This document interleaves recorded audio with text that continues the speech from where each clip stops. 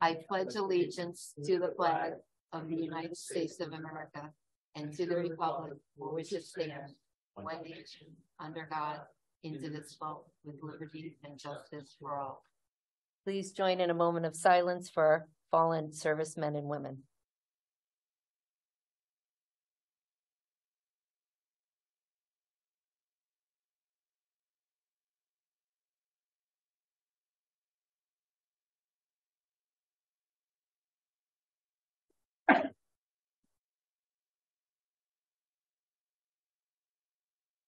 So welcome, everyone. We're going to begin tonight with the oath of office for our new police officer, Officer Brendan O'Reilly. You Want to come up?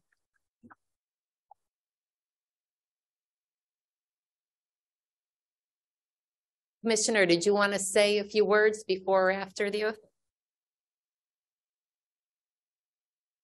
Thank you, Mayor. We're proud to present Brendan O'Reilly. He's a graduate of Malverne High School and Cortland University, where he received a bachelor's degree in physical education. He was previously a high school physical education teacher, and he has coached numerous sports teams. He's also volunteers and serves the community as a Lynbrook fireman since 2016 and was recently promoted to lieutenant. He's currently assigned to the Nassau County Police Academy. We're glad to have him, and we're glad to get some young blood.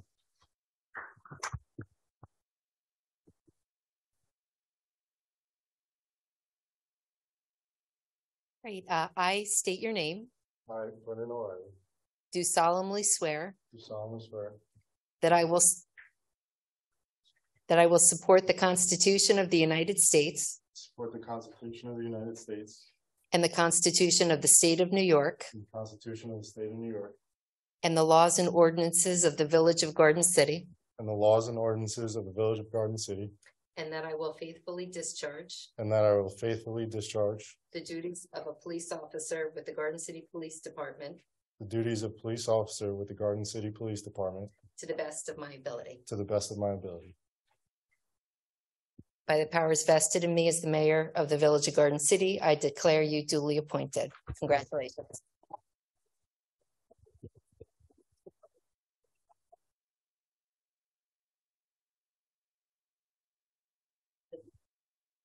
We do a picture with the board and then family or? Usually just you and then the board. Okay.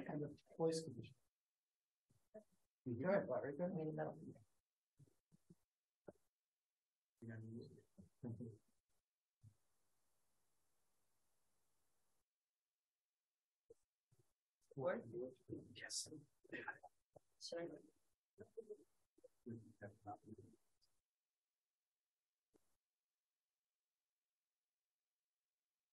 Should we slide this way, guy?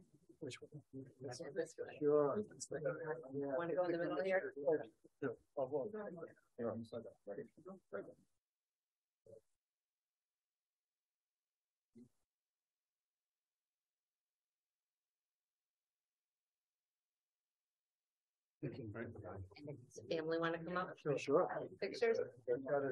Mom, dad, girlfriend, Family up. Oh, great. All the big guys who are on the outside. Congratulations. Thank you. Yes. Congratulations. Thank you.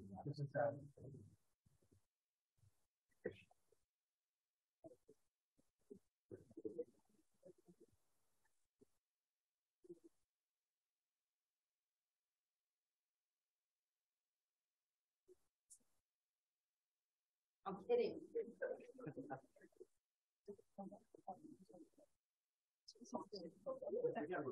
I have to do French.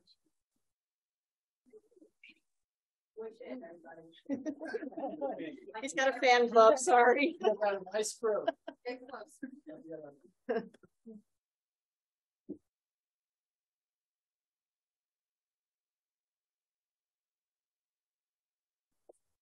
you.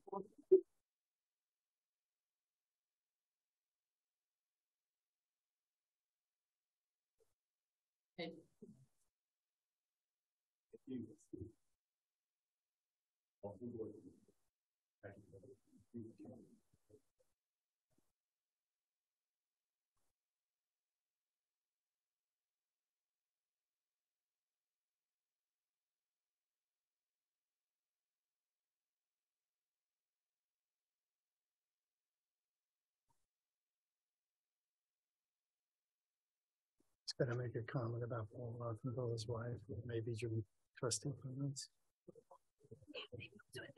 Trustee comments? Okay. All right. The commission till the next meeting. Yeah, no, I know, I know, I know. All right, so next we'll move to our newly added quick resident comments. And these are intended for residents who wanted to just tell us something quickly and have to, you know, head home for dinner, have someplace else they need to be, will not be able to stay for the whole meeting, but had a quick comment they wanted to give us. So I'll open the floor, and this is only for quick comments, folks who are unable to stay for the whole meeting and they're limited to a minute. Anybody in the room who wanted to make a quick comment before leaving? Nope. Okay. Anyone on Zoom who wanted to say something quickly but will not be able to stay on the line for the rest of the meeting?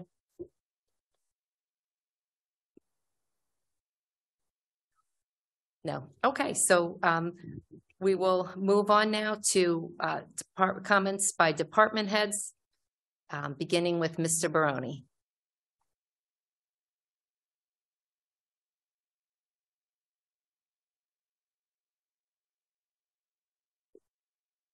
Good evening, Mayor, Board of Trustees. Uh, DPW has twelve items on the agenda tonight. I would like to direct everybody's attention to item one B under finance. As a request to transfer seventeen thousand five hundred dollars from contingent to sanitation to fund National Waste Services. National Waste Services is responsible for removing the dumpsters at our dump um, or transfer station. Under Public Works, item eight is to approve rates for drug and alcohol testing. Uh, employees are selected at random for testing throughout the year. Uh, this is to meet compliance with federal DOT CDL requirements. Um, we also test non-CDL employees as required by contractual agreement. Uh, item number nine is to approve hourly rates for on-call GIS services with H two M. Um, it could be beneficial in the future to RFP out these on-call services. However, um, Mr. Carey and I would like to begin working on certain features of our GIS system right away uh, as of June first with the new budget. Um, so we would like to start using these rates immediately. Uh, item number ten is a request to approve change orders for the Village Hall HVAC project.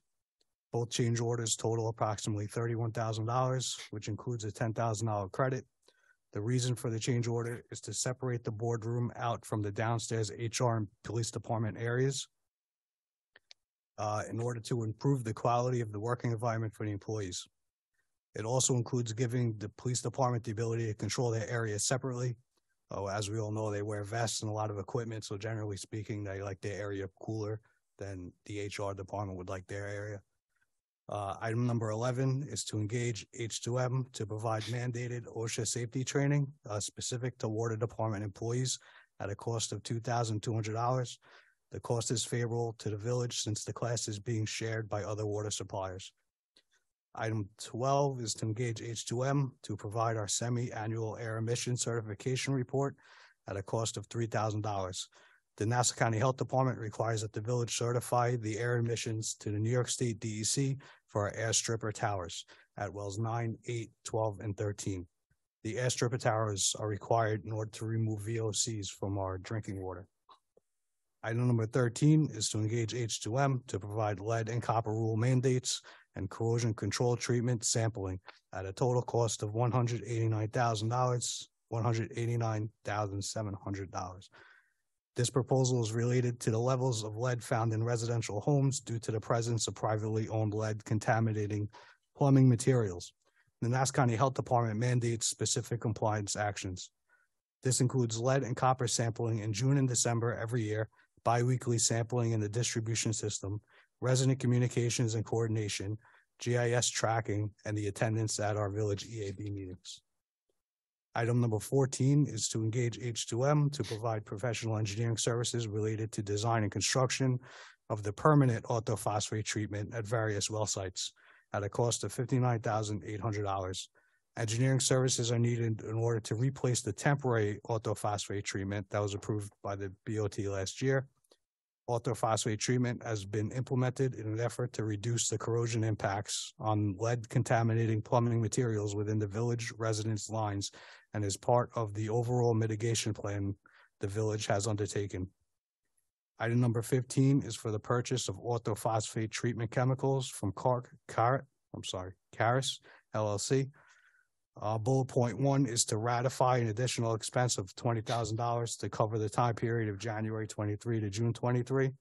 The second bullet point is to approve rates going forward for Carus LLC to provide orthophosphate treatment chemicals in the 2023-24 budget.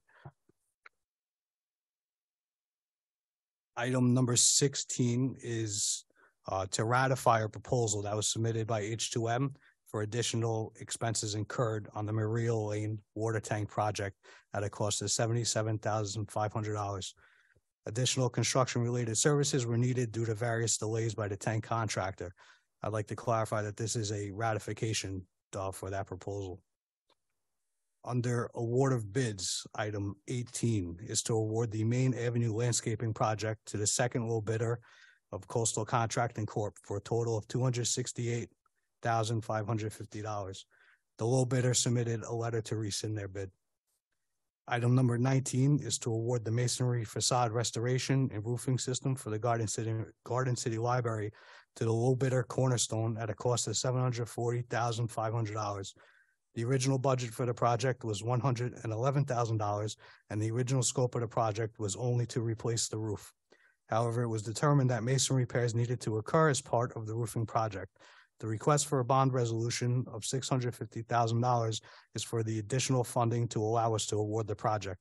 The cost of the roof replacement is approximately five hundred thirty-five thousand, and the masonry work is approximately two hundred two hundred and five thousand dollars. Uh, that's all the items DPW has on the agenda this evening. If there's any questions, I'd be happy to do my best to answer. John, I have a question for you. Go back to sixteen. So explain this one to me exactly. Is this a matter, uh, uh, why is it, so is this a matter that the project took longer than expected and that's the reason for the additional cost here? Correct. So due to the various delays by the tank contractor, uh, there were additional construction services like inspection and management that needed to happen because the time period had extended. Mhm. Uh, Ralph is in communication with legal on how they're going to mitigate who's covering that cost. Yeah, I would, that, I would be very interested to see if that's gonna work out right. If it was something that was being borne by us and we caused it, then, you know, we're on the hook. But if this is something that, that we're actually getting, we're being responsible for paying for that's not directly driven by us, we should be looking for some sort of compensation. Uh, understood. Well, they, they did perform the services though, so at this point, Understood, understood. I mean, they perform services, but we want to make sure that we get compensated if it's not our responsibility. absolutely. I did have a, a quick question for Mr. Baroni. Um, number eighteen, I think there's gonna be some further comment. Um, I, I know that, um, Ralph had some comments and, uh, you can see folks that he's not here tonight and he does have some notes that we'll be sharing with you and, uh, we think, we think, uh, there'll be a claim made, uh, to the MTA, I, I believe, for some of those monies. So there'll be more comment on, on that, uh, particular item. Is, is that correct, John? That is correct. I believe an application was made to the CBF, uh, for the reimbursement of those funds. Yes. Yeah. That, Oh, you do? Okay, yeah, good. we'll get to Thank that. I think it's all approved, but we'll Good. hear. Yes. Any other questions for Mr. Baroni? John, there's a, there's hundreds of thousands of dollars in this agenda for H two M. Is this a result of things that were bid out, or is it a result of just continuation of services that we had historically retained them for?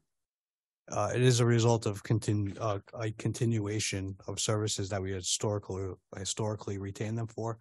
Um, we do review each proposal. Uh, there's certain items that we don't give to them, um, because we don't necessarily agree with the cost, such as the design for the repaving of the parking lot associated with Murray Lane. Um, but there's just certain things like the lead and copper rule that, you know, they began it, so it would make sense to have them continue it and to see it through. Um, as far as the orthophosphate treatment is, uh, concerned, they came up with a design to implement the temporary system, so it would make sense to have them design the permanent system. Uh, So it is just a continuation of their services. All right, my only The only thing I wonder about, is this a never-ending cycle? Is H two M by dint of what they've done in the past always going to be the provider? And we don't have to resolve it now. It's just a thought that I had and if you and Giuseppe can think about it. Yeah, Absolutely. Yeah, and, and to, and to piggyback off of trustee Kelly's comment, um, how difficult would it be to get an itemized list of all the work we've got H two M doing for us that we could, you know, share with the board, just to see what the numbers look like, right? In terms of the number of projects and the, and the dollar cost. No, we should be able to request that from the finance department. Be excellent, please. We'd like to see it. Yes, sir. Thank you. The GS, GIS support services, is that related to the hourly rates that we're seeing over on the item number thirteen?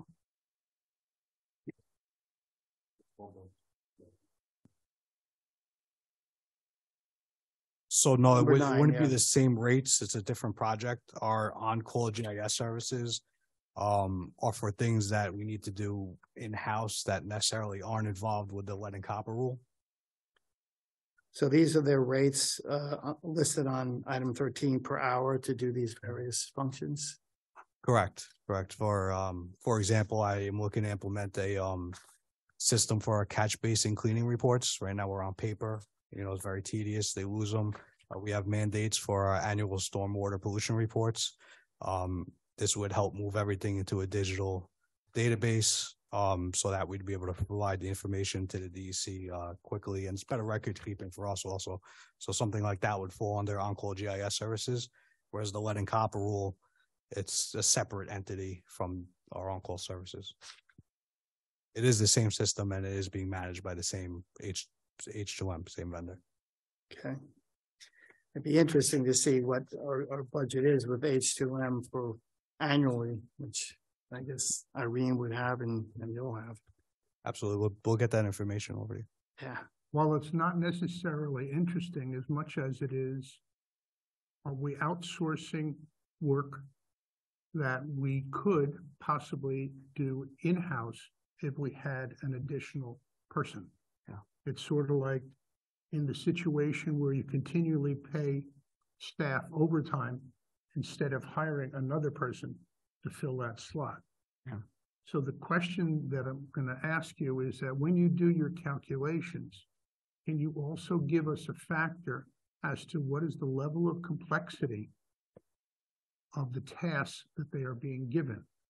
And would we be consistent in doing it in-house instead of paying probably a premium to have it go outside? Yeah. And I, and I'd extend that. Can you give us three years worth of data? Uh, yes, and I don't see why we couldn't do that. Thank you. Um, Broken I- out, please. I can say for the items that are on this agenda are, are the items that we would not be able to do in-house. Uh, some, most of these items require considerate, a considerable amount of effort for design um, or research that go into it that we don't have that But, for. no, but, but to trustee Torino's comment, and believe me, my, my company we're dealing with right now, we have a couple of groups that have uh, chosen to very thinly staff themselves. We've relied upon external contractors to kind of help us. Now we're trying to get away from that because it does become a very significant cost differential between in-house versus outside, outside staff. And now we're finding ourselves being deficient with people with that skill set. So agreed, there may be some high-end design stuff where we, where it, it pays for us to be able to cherry pick people that have those skills. But I would bet that if we look at all of this stuff, it may benefit us to have a person or two people on staff. so We can build the institutional knowledge that we can then continue to grow the, grow our capabilities. Absolutely understood. Thank you. And we just brought in someone who's like an expert in the field, We have a new head of the water department. Yes, which is a good starting point. a- absolutely. Thank you, John. Thank you. No problem. Any other questions? Thank you. All right, Mr. Giovanelli? Good evening, Mayor, Board of Trustees. The Building Department has one item on the agenda tonight, and that item is under the Finance Department, item number one A. And that's for a transfer of uh, funds from, for forty thousand dollars to safety inspections due to the Tyler software implementation. Tyler Soft, uh, Tyler Capital Pro, it's a capital project and we're increasing the capital project by an additional forty thousand dollars, which will bring this capital project to two hundred and seventy-nine thousand eight hundred ninety-four. Uh, the reason being for this transfer is some outstanding invoices, uh, overruns on the implementation due to, um, reports, reporting and different, um, reports and strategies that the building department needs. So there was a, a little bit of an overrun. Um, this will bring that project up to uh, additional forty thousand dollars. Um, that is the only item the building department has on the agenda. Um, I do have a, um, update on the senior center flooring. We met with the, uh, contractor on Tuesday. Um, we identified the problem as far as why the floor is buckling. We've, um, came up, up with a solution and the contractor will be on site on, uh, on the tenth of June to try to remedy that flooring. Uh, it's gonna, may take a few days for the floor to settle, um, as the floor lifted. Um, so that's gonna just take its course. Um, Mayor, in Ralph's absence, I'd like to, uh, brief the board on a few of his comments. If you'd like me to do that now, I can. Yes, thank you. Thank you. Okay, so let's see. All right, so item number three, first item is on item number three, and that's the, under the Human Resources. Item number three is the Annual Affordable Act, and it's a ACA Employee Agreement on ADP. The board authorization is requ- is requested to approve the contracting with ADP, our current vendor, for an additional module. It's at an annual cost of approximately forty, forty-two hundred dollars. The village previously contracts a third-party vendor, Algebra Group, for fifteen thousand five hundred as an annual fee um, for the ACA compliance services. Since the village already uses and utilizes the ADP for payroll and human resource tasks, this is an additional module which will, which will all, which will, which will bring the village into compliance with ACA filings. This is a function and a cost of outside services. So the village council was already approved this form. And uh, what's we got here? So this is going to be, this is a reduction of the cost for the um, recently administrative, it's, it's coming out of the fiscal year of the administrative budget of the 23, 24. All right, so that's the first item. The second item is item number five, and that is for the office construction, administrative and finance transfer of funds uh, for Intellitech services. The board authorization is requested for a fifty thousand dollar um close for the rec, for the recreation dog park capital project to the office construction administrative finance capital project. Board authorization is requested to approve the following proposal for Intellitech services. And this is for the installation of non-electrified locks for the business office, business office. This will include also additional installation for the electrified locks for the, for the doors and the, also include wiring for the control panel for, for the, um, basement computer room at a, at a cost of ten thousand seven thirty-one sixty-four. For the, for the computer room, the cost for the electrified locks is twenty-eight thousand five seventy-two ninety-seven. And for the installation of the non-electrified locks is ten thousand three six six point six three. Okay, the um, the sixth item on the agenda is the computer room restoration. This is the approval for Intellitech. And this is basically granting the, the approval uh, for Intellitech to provide the services for the switch racks, to, to mount switch racks for the fiber optic cables in the basement computer room. Um, this basically is, is patch panels for the computer room to the racks as far as switchboards and, and UPS backups. And that's a cost of ten thousand two forty-four fifty-nine. In summary, for that item, is the installation will streamline um, connectivity from the, from the computers, the applications uh, for the business office. and the, and the communications for the IT services um, and the networking, faster networking and easy to, for troubleshooting. And Intellitech is on the, the New York State, uh, competitive bid, uh, contract. And they've done work in the village prior. Uh, let's see here, what else do we have here? Okay, so that was the agenda items. John covered the masonry repairs and, and roofing for the library. So Ralph just wanted me to give an update on the community benefit fund. And so the, the, um, community benefit fund applications, there were three new community benefit fund applications were submitted to the Long Island Railroad and all three had been approved. The fir- the first community benefit fund was for eight hundred and seventy-five thousand, which covered the cost of the road drainage improvements on Maryland Avenue. The ac- actual cost reimbursed, the actual cost that we reimbursed was eight hundred and fifty-six thousand, nine hundred and three dollars and twelve cents. Trustee Wu is in the process of preparing the reimbursement packages for submission to Long Island Railroad for this amount. The, second community benefit fund was approved for the landscaping was two hundred thousand dollars.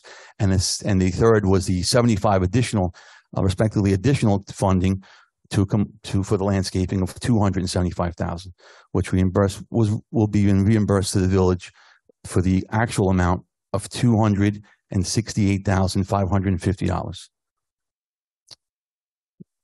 Uh, the other thing, the other thing on the, lastly, on the account, on the agenda for, for Mr. Suozzi was the, you, the board had asked him to set up a meeting with Adelphi University, uh, to talk about, um, reimbursements, uh, and, and, and the, uh, basically he reached out to the, the leadership and the team, and there's a meeting scheduled to take place on June fifteenth. And that's all I have. Mayor. Thank you. If you Thank can um also share at the meet and greet earlier in the week, questions were asked about the um Western Section Firehouse, and I know we had a meeting since then, um some of us with you, if you want to just share uh where we're at in that process. So we had a meeting this afternoon. There was a project wa- was updated, schematic plans were submitted uh, by the structural engineer and the architect. And we had a meeting this afternoon to discuss the pro- progression of, of, of the staging of that project. Uh, we, we walked through the building. Um, basically now it's a matter of the chiefs, if it's, if it's going to be sufficient for them as far as design. Once that design is approved, we can go back to the architects and the structural engineer and they can start preparing the final documents that to go out to bid so we can get some pricing and, and bidding on this project. Thank you. Thank you. Question? Well, there's still some other items in the community benefit fund which we'll apply for if we get approval for them. Uh, there's some discussion we've had with. the Yes, there's, there's a few. The we have landscaping those three approved, planted, right. yeah. Just have a question for you. Um, the Tyler software piece, the extra forty grand, what does that bring the total cost to again? Two seventy-nine, two seventy-nine, give me one second.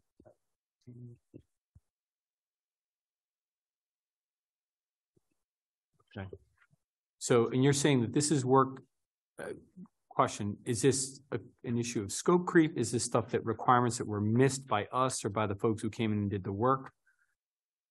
What do we think the driver The total amount is two seventy-nine, eight ninety-four. This is scope of increase. Uh, the scope increased for services that they provided to us.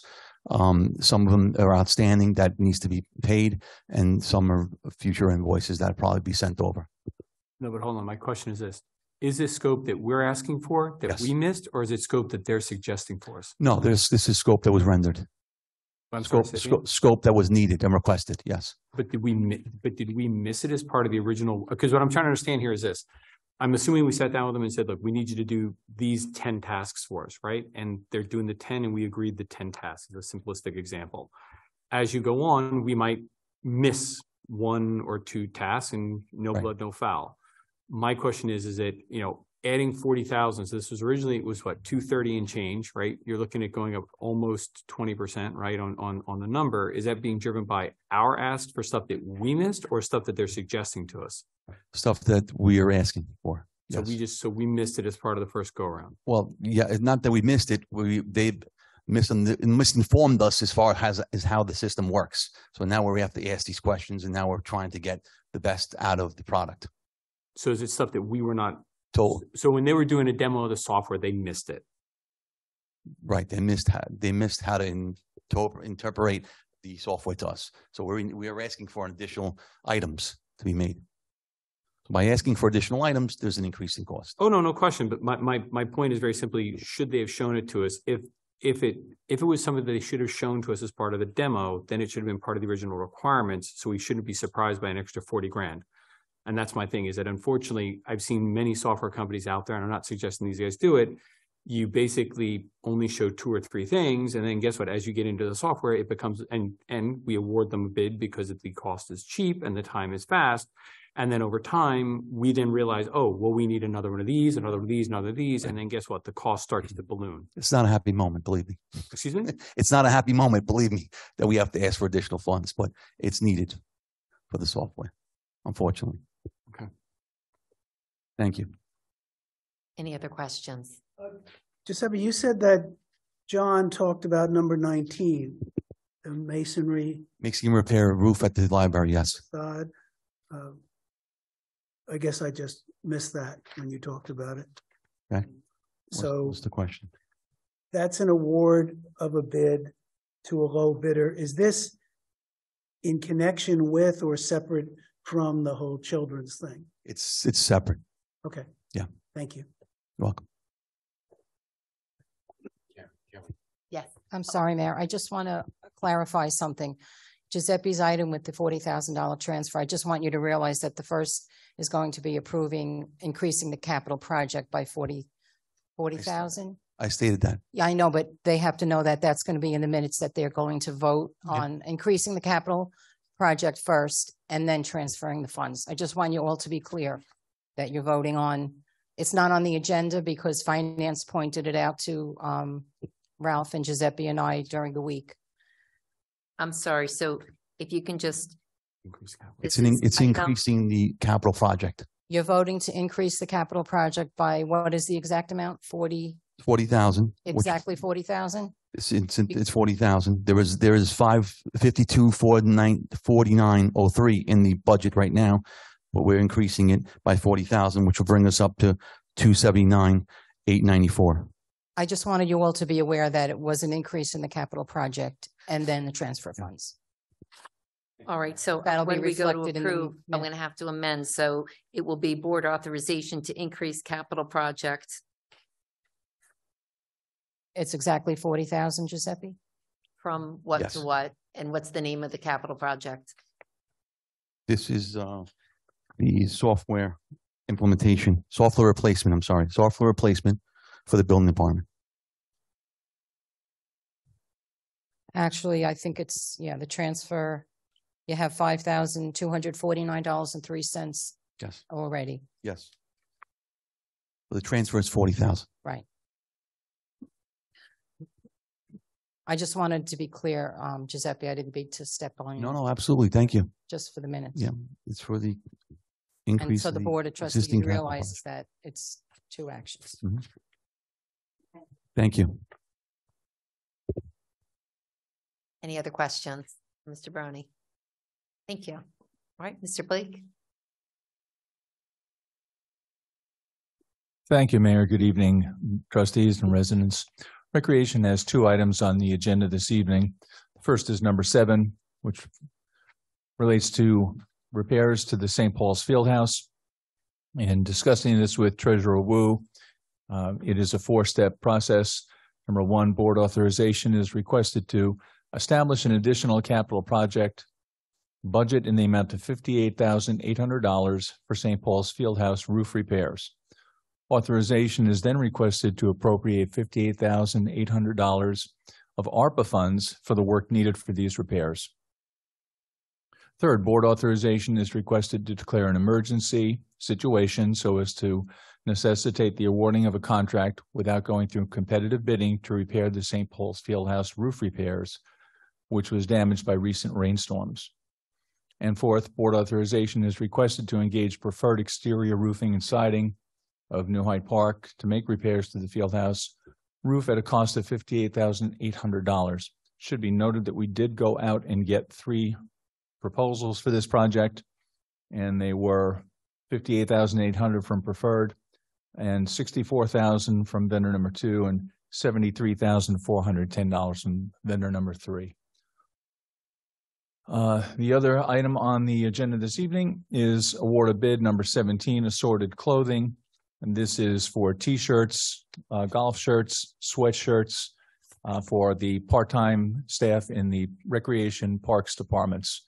And this is a, uh, renewal option for one year from Empire Printing LLC. They are willing to extend last year's prices for another season for us, and uh, we recommend that we accept this.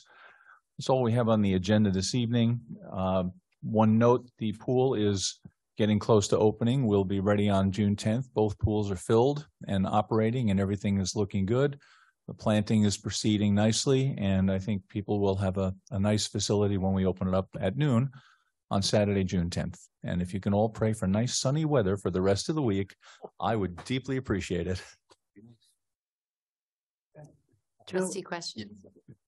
After Charlie. it's a little confusing um to me, perhaps to no one else, but why are we awarding seven, number seven without competitive competitive bidding if we did do competitive bidding and they were the low bidder? Well, we did an RFP, not competitive bidding. We did not go out for a public bid. If we did that, a public bid at best is going to take eight to ten weeks to have awarded. In that time, we're concerned that the damage will become worse and it won't only be the roof that gets damaged, but the synthetic floor inside the field house, which does not tolerate being flooded by water. Um, John Baroni was nice enough to send village engineer Craig Bandini up on the roof on Tuesday. And he did report back that in his opinion, it was an emergency situation and needed to be addressed as soon as possible. This is a matter of expediency, but we always do our due diligence and get additional prices. Now, in terms of the RFPs, Mhm. are, does it indicate on the RFP that this may, due to circumstances that are unknown at this time, be converted into a sole source and awarded without competitive bidding? It would be very difficult to make this a sole source. To be a true sole source, the vendor or the product has to be completely and totally unavailable elsewhere. So it would be difficult to say that this is the only company that could repair this roof. And that probably is not the way to go on this. Okay, well, putting, a- putting aside the semantics, in terms of an RFP, are the people who get it told that this might be, your response may be considered if it goes to emergency and we award it that way? Absolutely. Okay, thank you. Sir, couple quick questions. Have we, uh, have we engaged, uh, this might be better for, um, Mr. Giuseppe here. Have we, have we engaged preferred exterior roofing before? We have, we've used them uh in the past. They were the firm that did the re-roofing of the shade structure down by the main pool last spring. Uh, they performed in a workmanlike manner. They came in, they were efficient, they were clean, they did a nice job. And um, they were one of our better vendors. I just want to also mention that if this thing happened to go to bid, it can also be prices will increase because it due to insurance purposes and everything else. So the price could be ten to twenty percent more than what we have here. Uh, follow up, uh, Mr. Blake, uh, how does the rest of the roof look? The rest of the roof is going to be needing attention in the future, but all three of the vendors that came in said that we did not have to consider a full roof repair for another two to three years. So that will be appearing on our capital budget next year. You'll see that a couple of years out. And uh, in today's dollars, the estimates were between five and six hundred thousand to completely replace the barrel roof on the building. Thank you. And then one final, uh, issue, un, unrelated to, uh, to the St. Paul's Fieldhouse are, uh, my good friends at Conkel. Um, and I, I say that, um, tongue in cheek. Um, I, I was in town and I I sent some pictures to Paul and, um, have not been impressed with their services for, for a long time. And I know that you have ridden herd on them, but I'm a little concerned that, that, what I saw is more indicative of, of what happens across the village than, than it should. This, um, what trustee Finneran is referring to is the habit that they occasionally fall into of running their lawnmowers over all the trash in the world and shredding it up into little pieces, which are very difficult to pick up. We worked on this with them quite diligently last summer and they got out of that habit and they were actually picking the trash up. Uh, I had a long conversation with Mr. Power, the owner of Conkel yesterday, and I impressed upon him the need to go back to last year's standards. Um, my instinct is that I made a good impression and let's see what happens in the coming weeks. Excellent. And are, are we year to year with them? This is the final year of their contract. They were, um, they were basically a three-year contract, so we will be going out to rebid uh, this project over the winter. Thank you. Thanks, Paul. Any other questions? from? The only question for Paul is, the playground equipment looks great. You may want to go sing that praise. The St. Paul's? Yeah, we, uh, if, for those of you that haven't seen it, uh, we recently installed a new safety surface, which is the synthetic turf that we used over at Edgemere Park, which has, uh, received rave reviews and it goes very well with the playground equipment. And, uh, the shade structure should be up very shortly. We had a, a piece of it that was damaged in transit. and We're waiting for a replacement part. But the playground looks really good. And um, the next playground that we'll be getting that surface is going to be Nassau Haven. And we actually have a meeting with the vendor tomorrow to start developing the plans and specs. So we're slowly but surely bringing all of the playgrounds back up to the standards that we've always had in the past. It's been a while, but we're getting there. What, what's the latest on the tree situation in town? Either putting new ones in or taking out the dead ones and things like that, Paul? We continue to take out uh, dead trees. Um, we get a lot of resident phone calls now about ash trees, which looked good last year, but now don't look so good this year. Um, we've probably taken out another forty ash trees since the contractor left in early spring. Uh, we have a list down at the, uh, the yard that's probably, I think there's about fifteen trees on it right now that have been reported and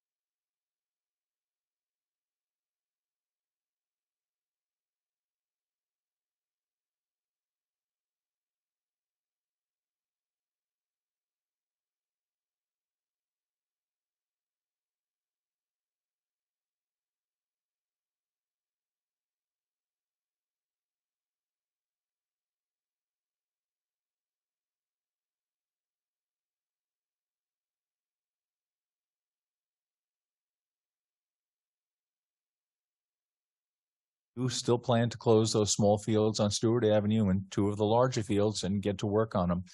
Um, on that item of fields, I was over at Nassau Haven today. We closed that field earlier this spring due to uh, complaints about the lack of grass. And I'm pleased to report that the grass is growing very nicely over there. We also took, uh, for us, an unusual step. We didn't cut the grass this week at St. Paul's. There were no games. So we decided, let's let it grow, get a little healthier before we chop it down. So we're, we're working diligently on trying to improve the condition of the fields and we are starting to see results. Thank you. It sounds like no mow May. Which, by the way, is now being touted as something you should not do. Uh, the problem with no mow May is your grass gets nice and tall and all of these butterflies and little bees and everything live in it. And then you come out with a lawnmower and you chop it down and during your first cut, you kill them all. So that's not a good thing. Um, the other issue is that when the grass gets too tall, it can provide shelter for weeds and for diseases that creep into the shadows that don't get hit by the sun. And most people, when they cut the lawn, again, you're going to let it grow for a month. It's going to grow to eight inches tall. And you're going to come out with your lawnmower. You're going to chop it down to two inches. You're going to kill all the grass. You're supposed to take it down a third of the blade at a time. So if you no mow May, it's going to take till August before you can get that grass back down to a manageable two inches. So it's it's a nice concept. It has nice, you know, warm and fuzzy about it, but it may not be the most effective thing you can do for your lawn. Well, it's June, so that crisis has passed. Thank heavens. But thank you for the information on that. Oh, Paul, uh, one question, actually two questions. Um, you know, just looking at the field over there, uh, it, it, growing the grass is gonna be, you know, that's definitely a positive. But there's a lot of weeds, like, have you made any progress with the weeds? Because the weeds seem to be kind of really running rampant. The, the weeds are, are going to be a, a problem, uh, until the organic program really takes hold because we, we don't use any weed killer. Um, the theory is at this point, if it's green, it's good. Um, the, as the grass grows and as it develops better roots and starts to become thicker, it will start to choke the weeds out. But that's something that only occurs over time. There's no quick fix for getting rid of the weeds and the clover unless we want to go back to putting pesticides on the field. And I, I don't really think we want to do that. Right, so, so what, what, what is the time frame? So what, what can we expect to see in the fall, for instance? I, I I can't say when the weeds are going to start choking out. We were, we were initially told, and the rule of thumb is anywhere between three and five years to see improvement in the turf. We're just putting down the fourth year applications now. So we hopefully will see some improvement in the quality of the grass and a diminishing of the weeds over the next twelve to eighteen months. Great. Uh, last question. So, um, you, I know we've been talking about taking the fields out of service. But it sounds like we're not taking all the fields out of service, No. that some will, some will, re- which fields will remain, um, being? Well, Right now, I believe the plan is to take out the small fields on Stewart Avenue, the ones we call the window fields, and two large fields that are directly to the west of the comfort station. Those are the ones that are um in most need of rest. And we have areas up in the northeast corner of the field that we have not striped for fields for a while. So we're going to put some fields up there. Um, that's the plan right now. Great, thank you. Right, thank you, Mr. Blake. You're welcome. Commissioner Jackson. Thank you, Mayor. I have uh, item number four on the agenda. Officer Gunnels has already been to two uh, major steps in being a commercial vehicle inspector. He's uh, did the first two phases of the North American Standard in commercial vehicle inspections. Now we're asking for board authorization to send him to Albany, New York for general hazardous materials. It sounds really like general, but it's not. It's it's it's a very important step uh, when you're a uh, commercial vehicle inspector. Uh, you, you know, the first two phases, you're going through the, the, the building of the truck and the mechanics of the truck and the wheels and the weight and everything else. Now is the hazard materials, what they're carrying. So that is a very important phase. And he's going to be going over the hazard material shipping requirements, the material regulations, the inspection guidelines, uh, roadside inspections, also business inspections. He'll, he'll be able to, uh, check paperwork and then he'll do practical exercises. This training is, uh, there's no cost to this training. We just have to pay for, uh, lodging and fuel. But I'm asking for this. Uh, this is a very important, um, step for us because our senior officer in the truck inspection unit is, uh, has, has many years. He may be retiring in, in the near future. So this will be continue our standard of, uh, strict commercial vehicle enforcement in the village. That's all I have. Thank you. Any questions?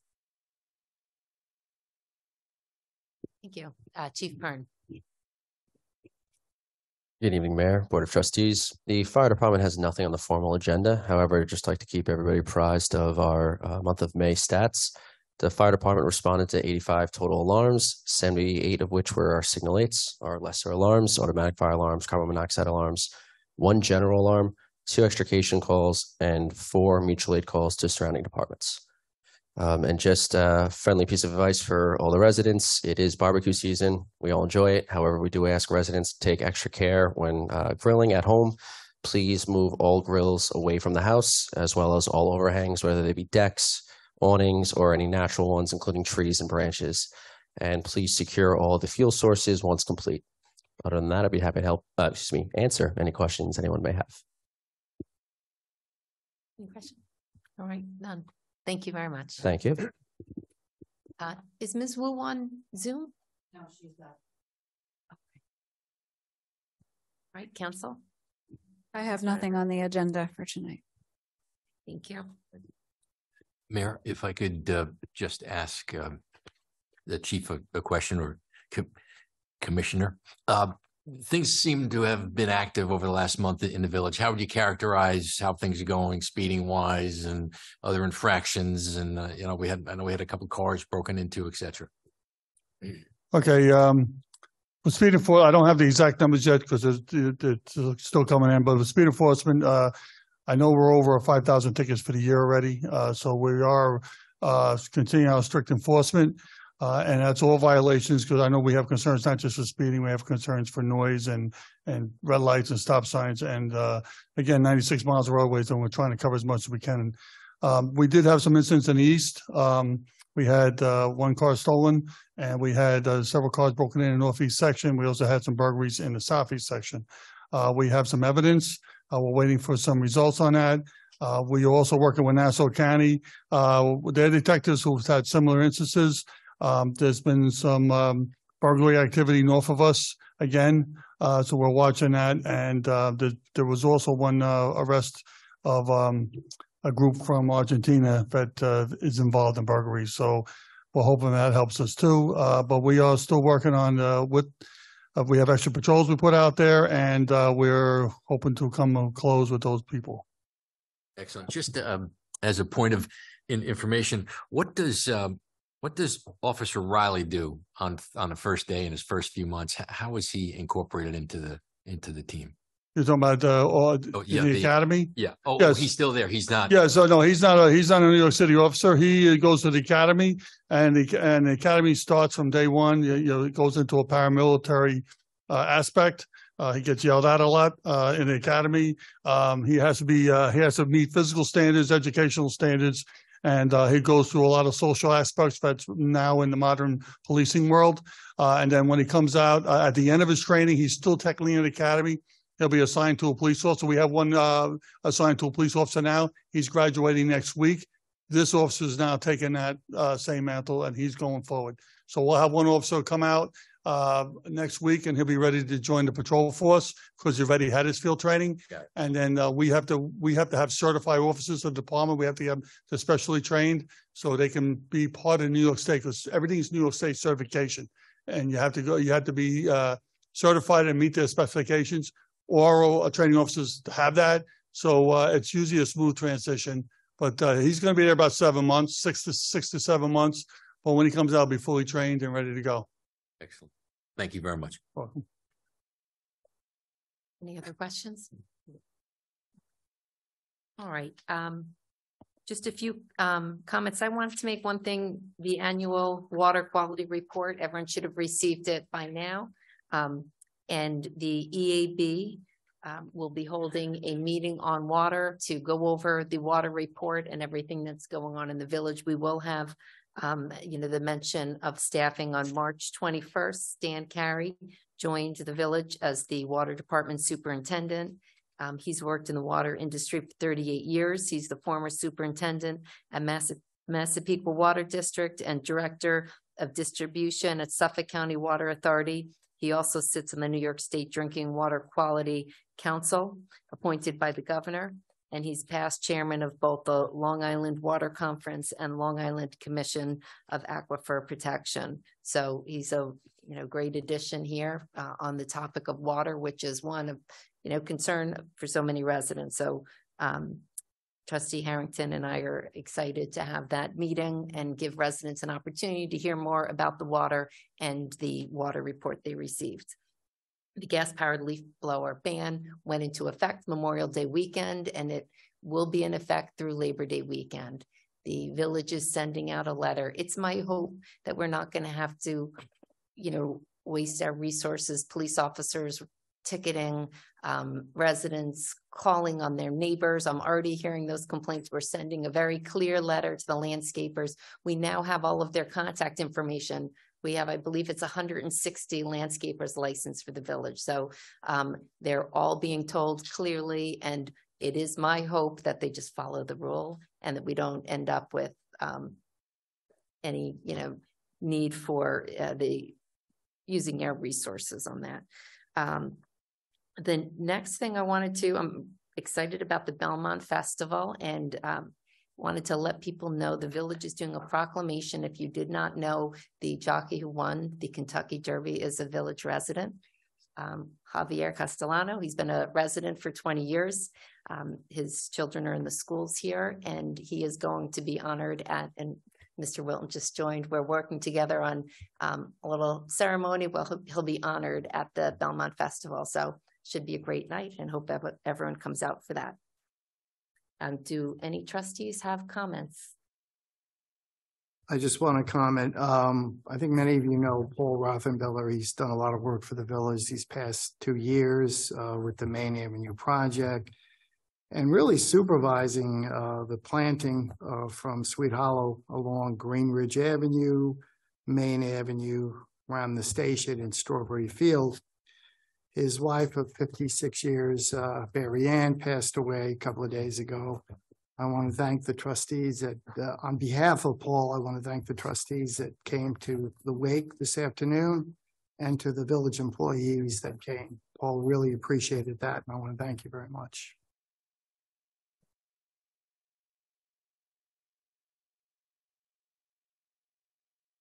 Any trustee comments? I wanted to thank John and uh, Commissioner Jackson for all their help on the traffic issues and the requests that keep coming in. So thank you both for that. And I think we're expecting a report um, coming soon on the uh, traffic calming study results. So thank you, Yes, uh, um, Chairman Trustee Kelly, who's the In two- chairman of the Traffic Commission on uh, all the work. Yes, at the next meeting. I did have one uh quick question uh for Charlie, uh trustee Kelly or Mr. Baroni regarding the um the truck ban and where that is. Is that in the uh, is that in the county's pocket right now or in on on their agenda? Uh, that's correct. So we came, we came up with a draft plan on side placement. Some of those signs need to be placed in county right of way and Mineola right of way. So we're waiting for approval from county and Mineola to place the correct signage. Good. Do- Do you expect uh Mr. Baroni that to take the the requisite amount of time that we've experienced in the past, or can we put a little heat on them? Would, I'll do do my best to turn up the flame. thank you, sir. I think that'll be a quicker turnaround than some of the things. All right, so we don't have any other comments from the trustees. I'll open it up for citizens' comment on agenda items, and I'll begin with the residents in the audience.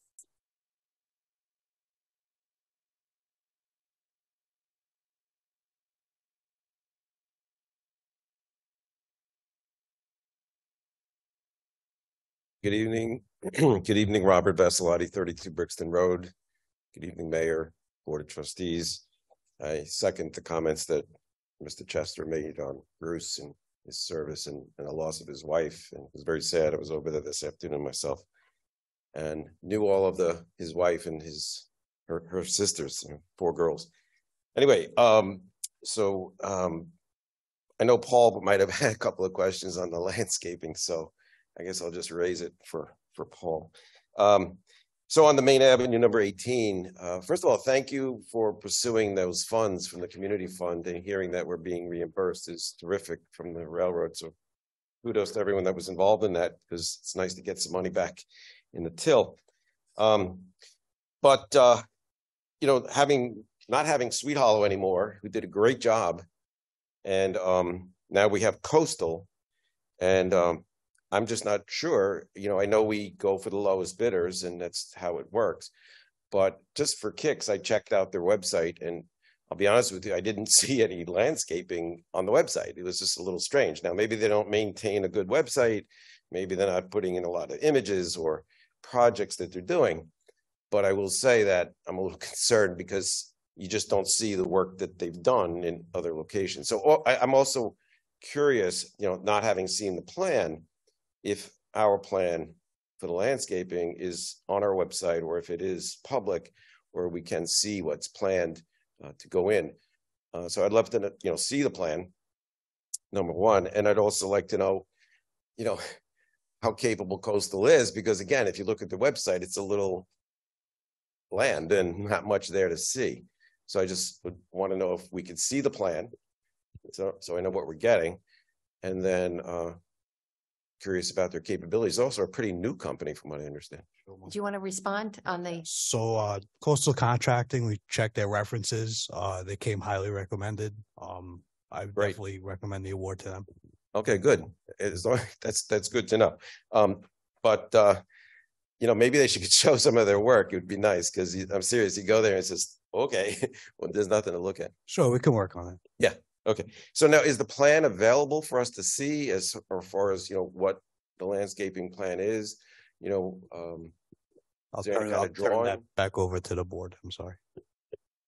Yeah, the plan we can make available, I don't think it is right now. I know the number of trees and the, and the, and the uh, quality or the, of the trees i- Right. is, is been listed, but I, I don't think an actual plan has been put up yet, but we can, we can get that. Okay, and then the only other question is, We're talking about a much smaller area than what we had to do. Oh, along absolutely. Main Avenue, Greenridge and Strawberry Field. yes, but I'm also curious if there's going to be any planting on the north of the roadway, which is actually the railroad property. I mean, are we allowed to plant there? Are we planning to plant We're there? very limited there. I mean, you saw the little plants that they put Yes, down. yes. It's very frustrating. Yes, but I just don't know if our landscaping plan will move on to their property or if they're giving us permission to plant on their property. Or if we can convince them to plant on that property. But that's the property that's very devoid of planting. Obviously, we can plant on the islands and other things. But Well, I'm just concerned that- about whether or not we can actually plant on their property. We're hoping that the island planting kind of covers the station as best we can. Um, and then we will obviously ask them to plant a little bit better than what they've planted. Um, any discussions with them is always difficult, as you know. Right. So we will ask for that. But the purpose of the planting on the islands and the whole purpose of the project, as you know, too, is to try to cover the station and, uh, and the, and the lighting that's coming from there. Right. And Thank it's you. also, we've been asking for the baffles and that's for further discussion, I Right. guess. So the last thing I wanted to comment on was, was um, that I heard, you know, through one of the workers, there was several Long Island workers on the platforms the other day, all Long Island Railroad fellows. And um, they said that the main contractor is no longer working on that project. And that the railroad themselves is trying to finish all the punch list items on Merillon Station and other stations.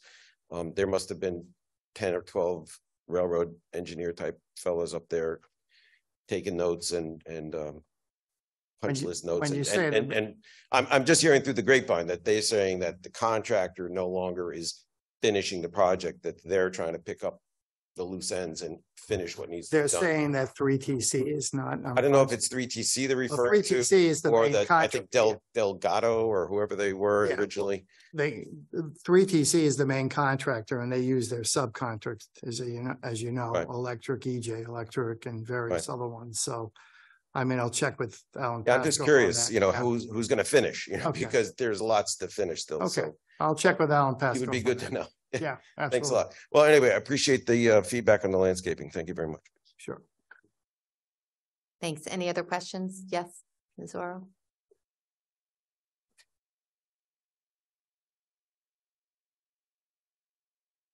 Kathleen Oro, for Merillon Avenue. Um, continuing what Mr. Vassiletti was saying. Um, this just says number eighteen Main Avenue landscaping. I'm more concerned with Merillon Avenue landscaping or the lack of.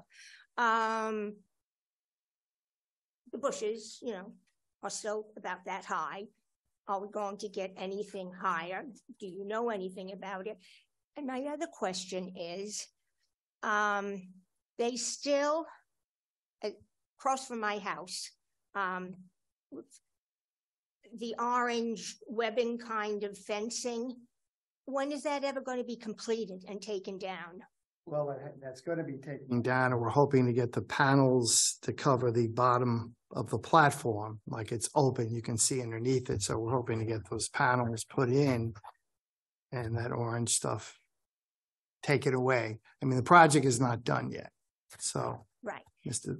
Vassalotti asked a question about, is there a different contractor on it? I hadn't heard that, but I'll contact Alan Pascal unless John, you know anything more or Giuseppe? Okay, okay. Actually, Ralph Suozzi couldn't be here tonight, but I know he has a meeting scheduled next week and he really would be in the best position, I think, to field some of these questions. So we can get back to you on these particular questions because I think he would probably have them easily at hand. And he has a, a meeting scheduled next week on wrapping up the loose ends we've been talking about.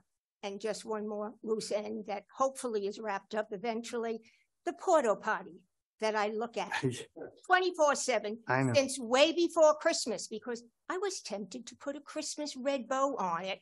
And then I couldn't figure out how to stick it without using super glue and I didn't want to get into serious trouble on that one.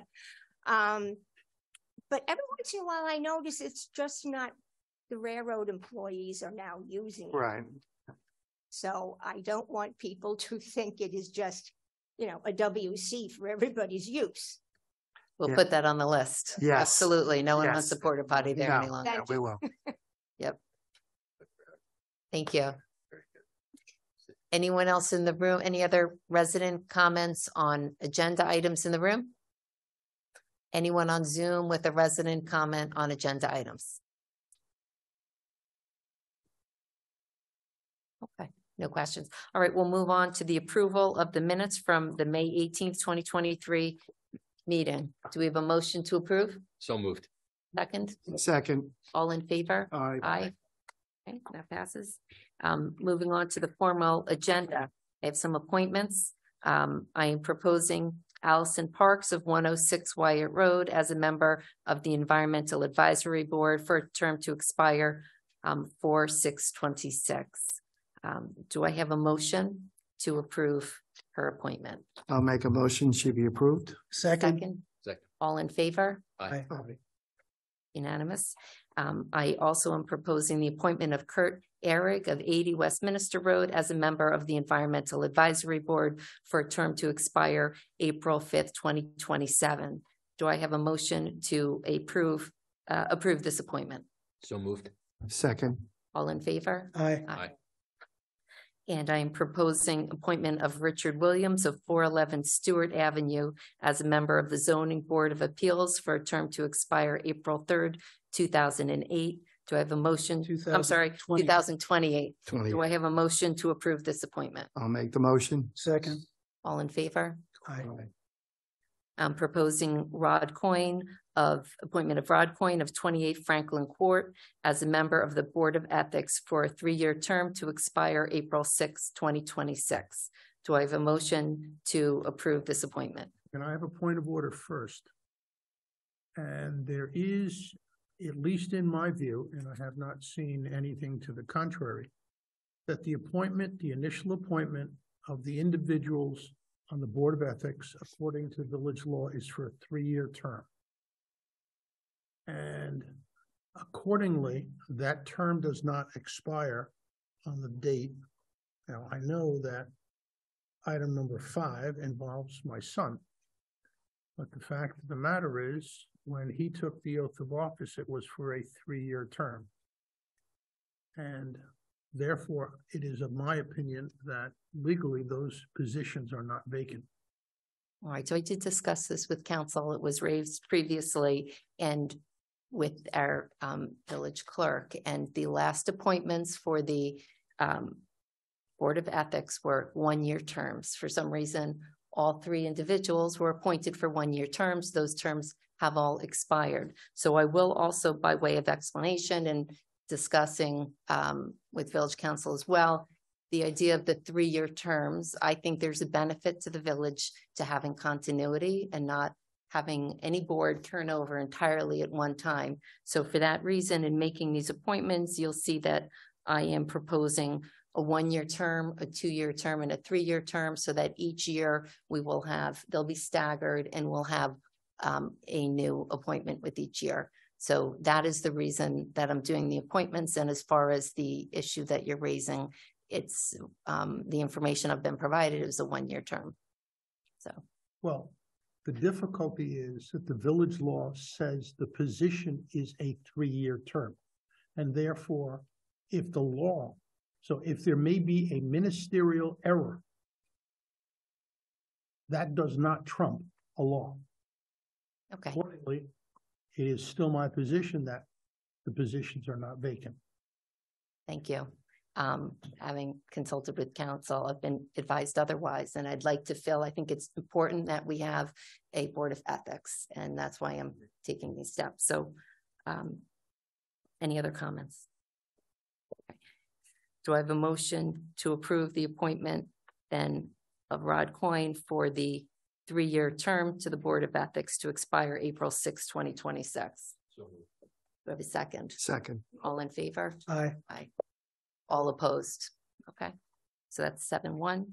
Um, I am proposing the appointment of Kimberly Johnson Glenn of one fifteen Locust Street as a member of the Board of Ethics for a two-year term to expire April seventh, twenty twenty-five. Do I have a motion to approve that appointment? Do I have a second? Second. All in favor? Aye. All opposed? Okay, so seven in favor, one abstention. Uh, And um, I am proposing reappointment of Rich Correa of one ninety-seven Meadbrook Road as a member of the Board of Ethics for a one-year term to expire April first, twenty twenty-four. Do I have a motion to approve that appointment? So move. Second. All in favor? Aye. All opposed? One opposed, six in favor. Okay, two to six.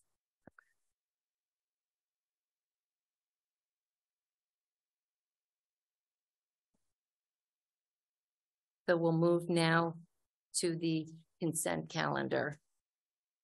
I just wanted to say that I was chairman of the Board of Ethics, and I worked with both Allison Metzler and Ryan Torino, and they did excellent work with me, and I wanted to thank them for their work for the village on the Board of Ethics. Thank you. I'll join in, in thanking the residents for their service on the Board of Ethics. And also for the service of the other individuals who are, um, have served on the zoning board, uh, the E and the EAB. All right, so on the consent calendar, there are two items that will need clarification for the vote. Um, Number one, we are adding the language, the board to authorize increase of the software replacement capital project for the building department to, do we have the dollar amount?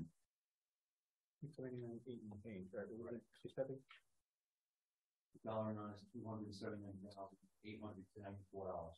Okay, to two hundred seventy-nine thousand, eight hundred ninety-four dollars. And in item number seven, um, I am adding uh, the language, and this relates to the um, engagement for the roofing uh, project repair uh, at St. Paul's, that this is being done because of the presence of a leak and the risk of substantial damage. All right, so do I have a motion to approve the consent calendar with the addition of language in number one of the board to authorize increase of the software replacement capital project for the building department to two hundred and the addition of language on number seven to include um, this is being done because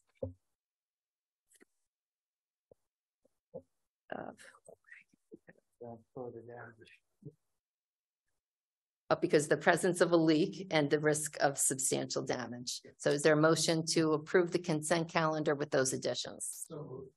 Any second? Second. All in favor? Aye.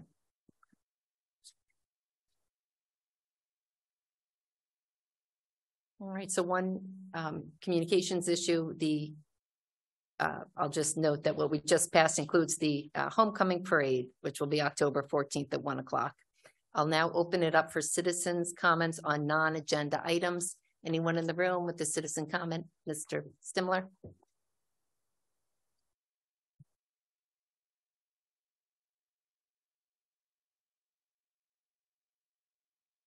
Leo Stimler, sixty-seven Huntington Road. Uh, I'd like to talk about, uh, the disappointment that I experienced at the legislative hearing for the casino sands and the disappointment, um, that some of the biggest failures I thought of that hearing were not covered by Newsday. And I'd like to give a couple of examples.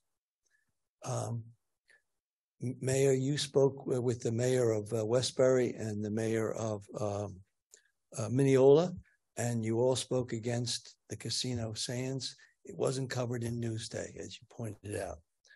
Um, Deputy Mayor Chester, you mentioned that when you were making your remarks a Monday ago, that we had waited, those who wanted to speak against the casino waited two hours. And um, at shortly after four o'clock, the provide, the presiding supervisor said there would be abbreviated, that's the word he used, abbreviated remarks from the Casino Sands organization. We waited over two hours. Uh, that was wrong. Newsday didn't cover that either. Um, Trustee Finneran, you mentioned um, that a lot of money is being thrown around. Uh, one of the things that I didn't like, I never heard David Paterson referred to as anything except the governor. Now, maybe I missed it. I never heard him referred to as the vice president of Casino Sands. As far as I know, uh, and I'm not certain of this, but as far as I know from newspaper reports, that's still true. He's still the vice president at Casino Sands. That's a lot of money being thrown out. And if you notice, and, and, and maybe I'm nitpicking here, but look where he sat. He didn't sit with the other Casino Sands executives inside the gate.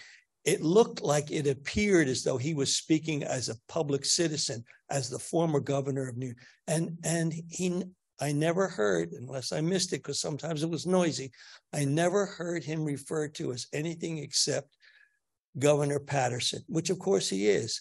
But he's also vice president of Casino Sands, or at least he was. And there's more of that money being thrown out. I'm sure that he got a good salary. The other thing that, that bothered me was the chief executive of um, Family and Ch- Children's Services. Um, he sounded like a lobbyist. I don't know if he's a lobbyist. I don't know if he was paid. I don't know if he was promised, but he talked about meetings. He's been meeting with Casino Sands, uh, with Sands Casino. So what were you meeting about? Well, you talked about we've been meeting about a partnership. Well, are you being paid for that partnership? That the presiding officer should have said to every speaker or made a, an announcement at the beginning, if you're being paid here, you need to share that with the public. Uh, he didn't say that, and uh, Newsday didn't pick it up. Um, so when when the um, executive director of uh, Family and Children's Services, which has about a dozen sites, uh, and one of them is listed in here in Garden City, Mm-hmm. he said um, things like, "Let me see, I wrote it down." He said, uh, "Nassau County is number one in drug overdoses, but don't worry because um, the casino won't bring drugs." because drugs are already here. Well, I don't understand that. But what what bothers me is is he saying that as the chief executive of Family and Children's Services, or is he saying that influenced possibly, I don't know if he is, possibly by this partnership of which he's getting reimbursed or which he's been promised reimbursement for it from his agency. Um, I'm, I'm saying all these things and bringing, bringing these all up because I suspect that one of the next movements is going to be before Hempstead Town Supervisor um, Don Clavin. And I hope that all of us will insist that that when that hearing takes place, hopefully it will take place, hopefully we will have a hearing, that Mr. Clavin, uh, Supervisor Clavin insists if you're getting paid, if you're getting reimbursed, if your agency is getting reimbursed, you have to reveal that. You're not a you're not an, an indifferent person. Uh, um, and and I wonder, um, I wonder, um, Mayor, if there's any possibility you would consider inviting um, some of the speakers on the Community Advisory Committee, like Ed Ra or Kevin Thomas, to come to the village and hear residents and hear what they're saying. Um, there are five, excuse me, there are five people on that committee, and it, it's not looking good. If we lose Ed Ra or Kevin Thomas or Don Clavin, well, I think we're finished. I think it's it's it's well, I don't know if we're finished, but it doesn't look good. Um, so in closing, I wanted to say that anybody who was there on Sunday or Monday, whether you spoke or you didn't speak, um, you, you're my hero. And I just want to put a shout out to my golf buddies who were there. Um, uh, Dave Sebring and uh, Roger McFeely and Regan Flood. Thank you. Thank you. Leo, if I could make some comments to you. Um, I thought your, uh, s- testimony, if we want to call it that, or your performance in front of the legislature was excellent. You made some very, very good points. As far as, uh, Governor Paterson, I guess out of respect, I called him that when he, when he started saying, you know, all the great jobs this was going to have and, and would take care of the brain drain that we've been complaining about for decades. And I said, no, it wouldn't. I don't see how he thought that. And I was also appalled as you were with Dr. Reynolds' comments because I had a good dear friend of mine who was on the board of Family and Children's. She's no longer around. And I, I would have, if she was, I certainly would have contacted her and said, how can he make comments like that? Like drugs are a big problem, but we're not going to have any problems with this. I just have to say, after talking to a number of people, and I know the presiding officer, Rich Nicolello, personally. I had a con- a long conversation with him the Saturday before. I had a conversation with him and probably the last conversation I'm going to have with him after it. A lot of money was thrown around. A lot of things have been promised. Judgeships, all sorts of things. I can't go into too much more detail than that, but it, it certainly has happened. And I think the whole thing was a sham. And thank you for your service on the Environmental Advisory Board. Yes.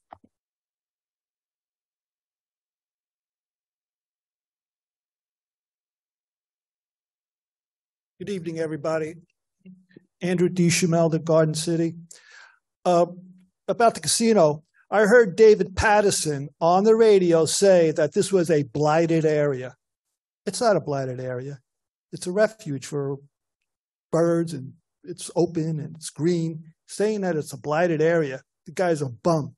I'd like to punch him out. I don't care if he is blind.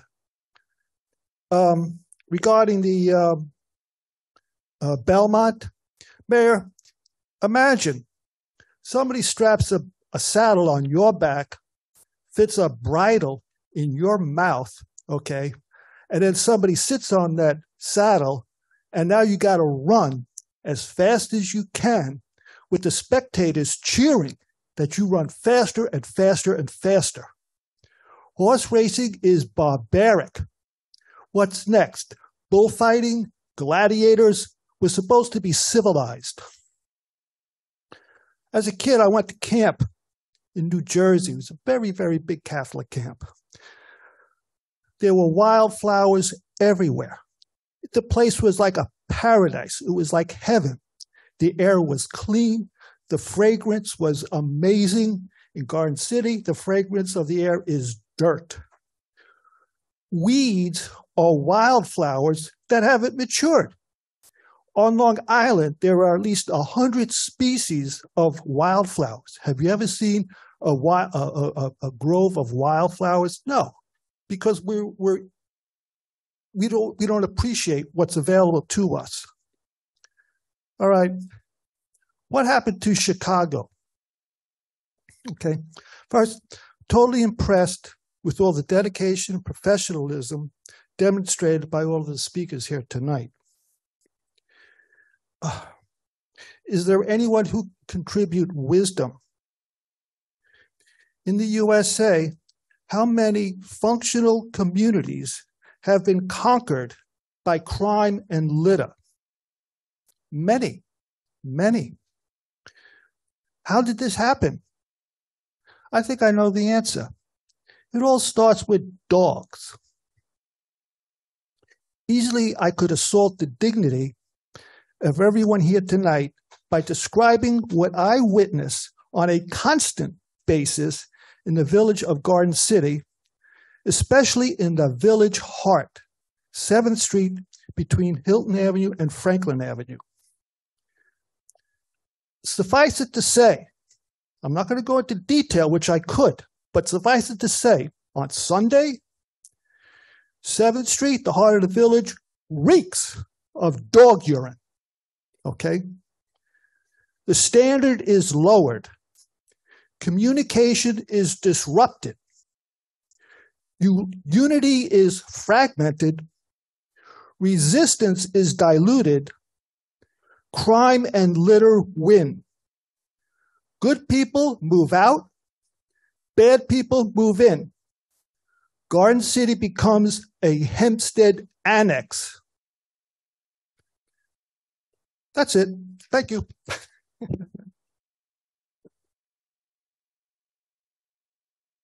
Any other questions in the room on non-agenda items?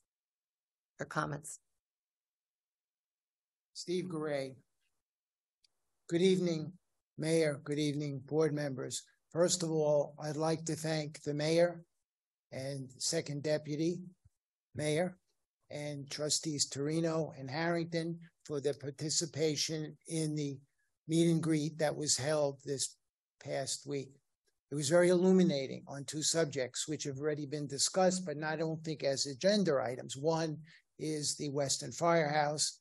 And uh, my only concern there, not really a question, is I hope that all the structural issues are resolved because we're going to have heavier equipment. And when I was a while ago on the Western Property Association evaluation of this subject, there were questions about whether or not the new heavier equipment uh, would be sustainable based on the existing foundation. So I hope that's being addressed now. But my my real question now for myself and a colleague of mine, George Salem, deals with the senior center.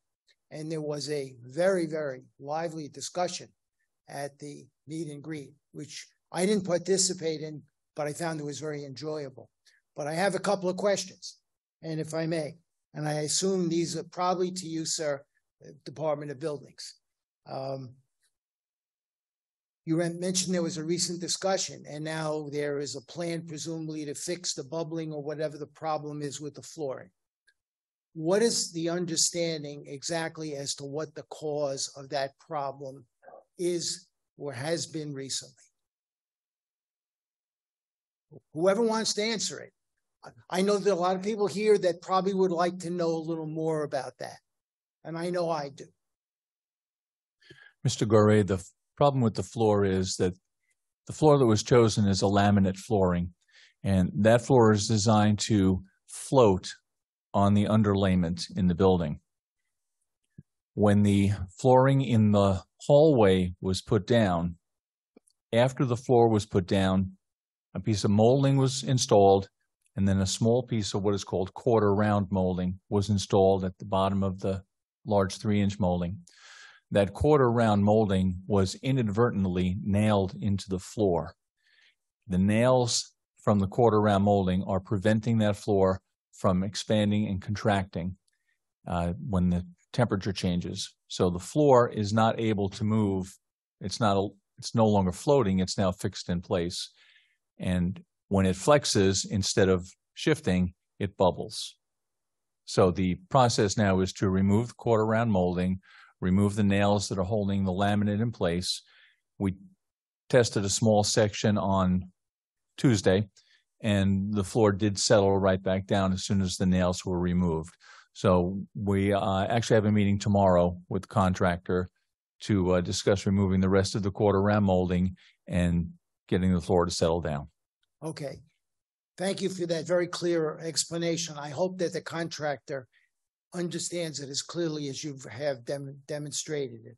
Uh, my question then is final question, two final questions. Number one, roughly how long is this going to take to remedy? Uh, it, it should take a, a day or two. Um, honestly, once they start removing the quarter round, it should go pretty quickly. And secondly, is it going to cost the village any money? No. That's good. That's the best answer I heard. Thank you. Thank you. Any other questions in the room on non-agenda items? Mr. Wilton?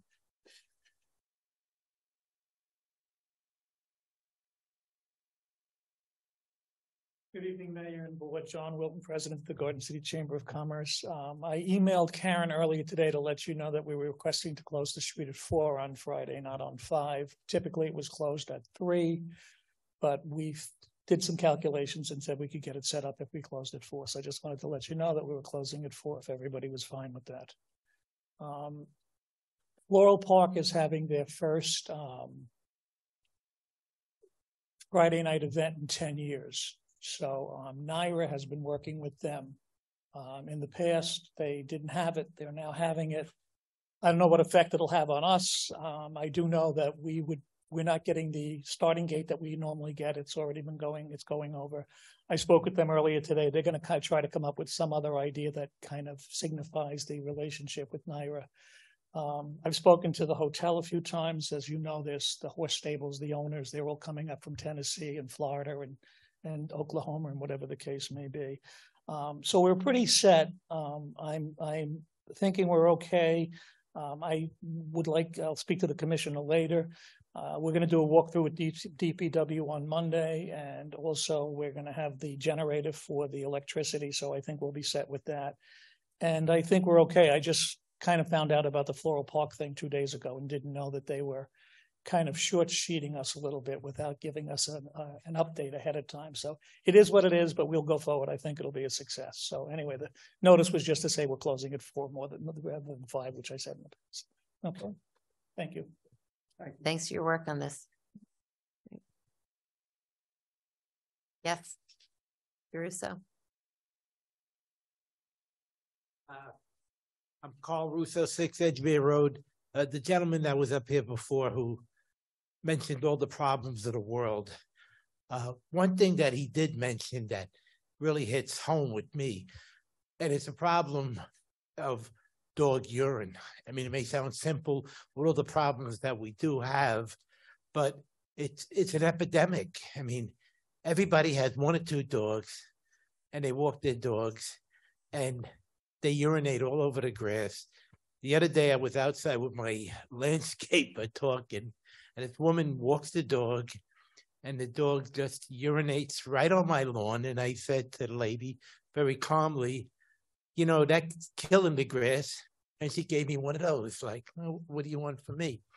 Um, in the past, the village used to put in the Garden City uh, paper the rules of uh, violating, you know, not curbing the dogs and where you could be walking your dog and stuff like that. I know it's it, it may sound stupid, but maybe you could put this in the paper again and publicize it and uh you know maybe for some people it'll hit home and they won't do it you know? I mean i mean i i live on edgemere road and you know i don't expect people to walk their dog in the street on edgemere road. And get killed. But maybe they shouldn't walk on edgemere road. Maybe they should walk on a side street or whatever. And if if they're on the phone when they're walking the dog they don't know what what the dog is doing. And I do find not only urine, but I, I do find droppings on my grass and stuff like that. And I do find the plastic bags being thrown in the sewer from time to time, which I know is against federal law and everything. But I, I mean, people know they're doing the wrong thing, but they just don't care. But maybe we just have to drum it in, into their heads and, and try to, uh, you know, see reality. I'll look, Thank thank you. you. I'll look into what we've shared before and doing that again. I, Thanks. I can give it to you. Thanks. Any other uh comments on non-agenda items in the room? Anyone, uh, yes? Oh,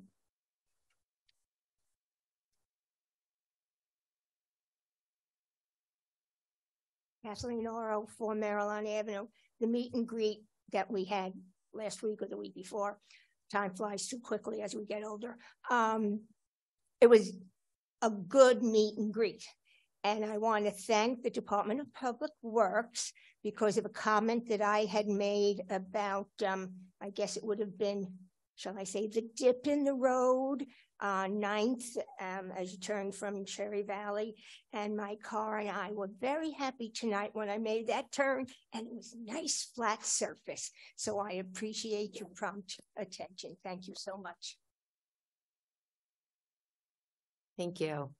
Uh, we will be having another one is on the calendar for June twenty-eighth, so we'll get the word out. It's a great way to, um, you know, have your issues raised in a less formal environment. So I encourage residents to come.